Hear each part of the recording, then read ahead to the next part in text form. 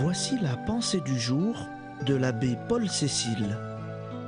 Vivre avec Jésus-Christ dans l'Esprit. Que le Seigneur bénisse tous ceux qui méditeront ces textes. Pour moi, vivre, c'est le Christ.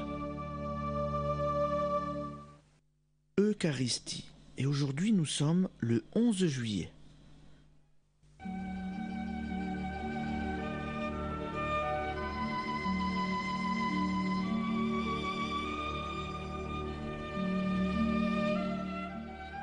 Je vous recommande de recourir souvent à l'Eucharistie, aussi souvent que vous le pouvez.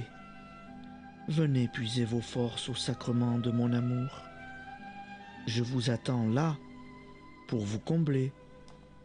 C'est dans l'Eucharistie partagée que s'opère notre union intime, sacrement de l'alliance, vous avec moi et moi en vous.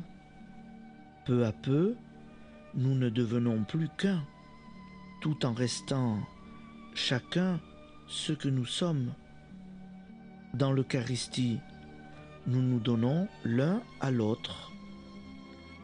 Et de ce don réciproque naît la vie de l'amour. Venez à l'Eucharistie.